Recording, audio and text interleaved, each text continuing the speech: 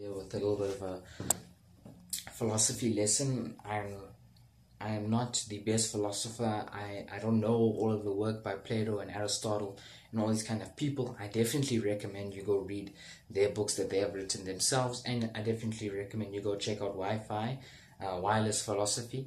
That's what I kind of learned about all of this. But this is basically going to be a quick summary of all these philosophers' um, views on attaining the good life.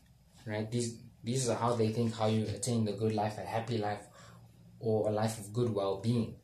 Now, what they said was that it needs to be a balance of virtuism and happiness, right?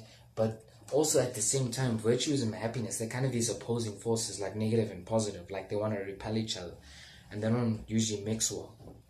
And what I mean by this, say that you have a project due on Tuesday, but today is Monday, you have about a week's time to complete it. And now there's one thing you can do, right? I mean, there's two things you can do. You can do the virtuous thing, which is, right, you grind out all the work, you spread it out through the week, you work consistently, and you get it done, say, by Friday, and you have Saturday, Sunday, Monday to chill, maybe to edit it, and yeah, you have that time, and in that time, you really think to yourself, wow, you know, I, I'm feeling great now. And if you've ever done something ahead of time, you know, you feel great, like, wow, you know, I pushed myself, really got this stuff done. Now I can chill, maybe reward myself. I can watch some YouTube videos now, maybe do something I like, or maybe start on the next project, have a little bit of rest, extra sleep, something like that. So you, you have this time, you know, this time of like happiness, right?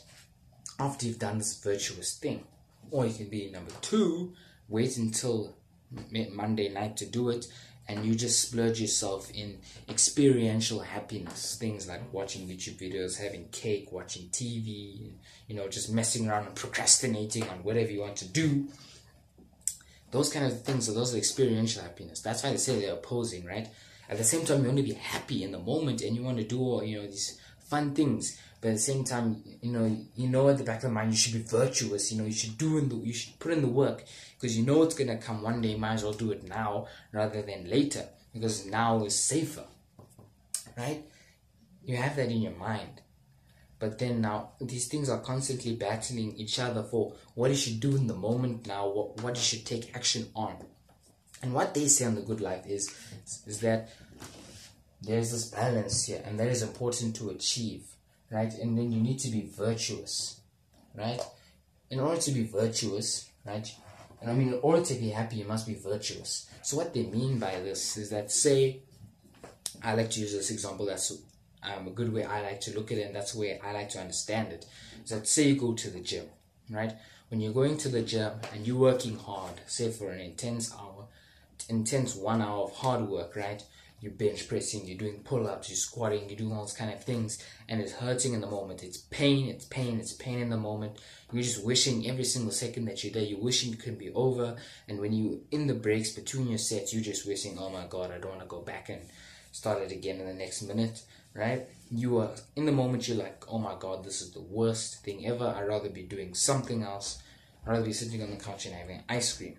But afterwards, after you've done that hard workout, after you've given it all you have, after that, you look back in the moment and you're like, whew, you know what? I really pushed myself hard. I did everything I could, and now I feel great about myself. I feel great that I've put in the time and to invest in myself to be stronger, better, improved, all these kind of things. Also, you know, when, when I was mentioning that example about a project, you know, smarter, more prepared, all these kind of things, you know, all these kind of things need you to be happy right? This is a long-term happiness that will last more than the moment because if you do have some kind of principle, some kind of morality within you during this experiential happiness in the moment when you're watching YouTube videos and procrastinating about what really needs to be done and and what actually needs to be done that will have some kind of future greater value than it than it does now.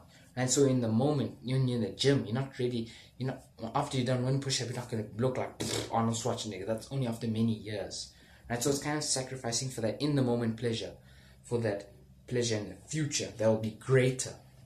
But also, as you do it step by step, right? All these virtuous actions step by step, we gain that pleasure.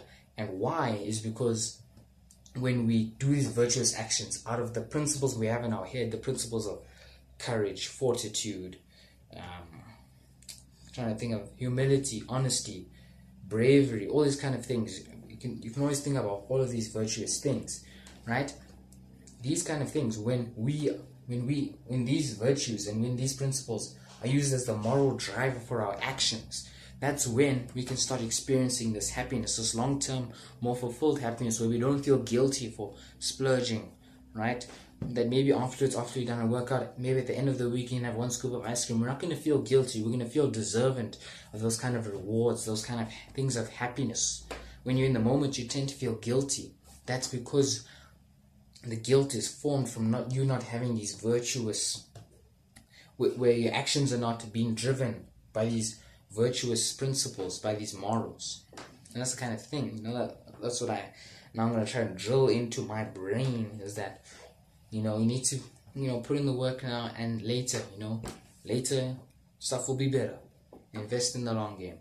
And I was just recently watching about Gary Vaynerchuk, and he was saying, um, you're not going to die soon, you know, I mean, assuming you're not 90, you're not going to die anytime soon, right? So might as well play the long game what he meant by that is that you know we're not going to die the next day of flu because you know we have all these advancements in technology. We're not going to die because of flu or a mosquito bite, right? We're going to live for a long time, and we should play the long game. And you, can also um, compare this to Stoicism and Epicureanism, where Stoicism that's really investing in the future, and Epicureanism that's really in the moment happiness, YOLO, right? Because you know we might die tomorrow. No, there's no guarantees in life. You know, might just get I might just go outside now and get struck by lightning. That might happen. So nature don't give a fuck, and it might just strike you down, or I don't know, maybe an earthquake, a huge hole might just appear underneath you, and you just fall and die. Right? That's why you should have this in a balance. That's what they were talking about. This being in a balance, right? You act virtuously. You know, you you play the long game, and then every now and then you you you have this escapism. Right? That's what people like to call it. Right? Gary Vaynerchuk, who himself said play the long game and who himself lives by what he preaches. Right? He preaches what he practices. Right? He has this what he calls an escapism where, you know, he watches the New York Jets, right? He watches them play.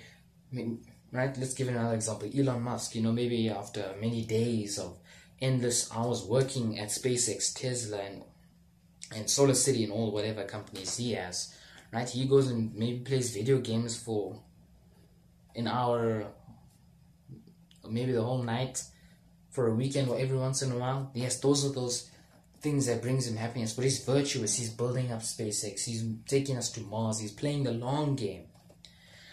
But now, before I prolong this video out and you know just start rambling about the same things about playing the long game, is that I also want to remind you that balance is key to achieving the things you want in life right so let me give one last example you can you can be cowardice or you can be you know overconfident or what's the other word? Arrogant. But here there's courage in the middle you just we act with this kind of bravery right? We all have this balance this balance of maybe being timid and you know overconfident. You know we can have this balance of humility. And that what, what is what we're trying to achieve here.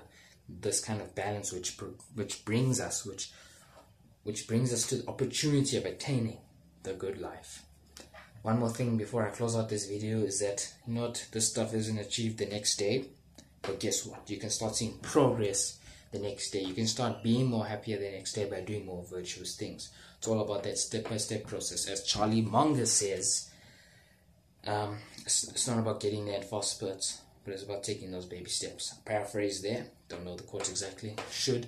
So, hope you guys learned something useful. I'm gonna try and apply this as best as I can in my own life. And I hope it brought you guys some value because I thought this stuff was really cool. Some cool shit happening here, and I wanted to bring it into your life. So, hope you guys enjoyed, and I want you to kind of just admit to yourselves one of the, one of those times you know you uh, you know, splurging in these kind of, you know, experience happening, this happiness, and you are feeling guilty about it, just comment that below. And anything else you want me to talk about, please post down below. Basically, what I'm doing is I'm just talking about the kind of stuff I want to talk about and, you know, the all cool stuff I'm learning. So, catch you guys later.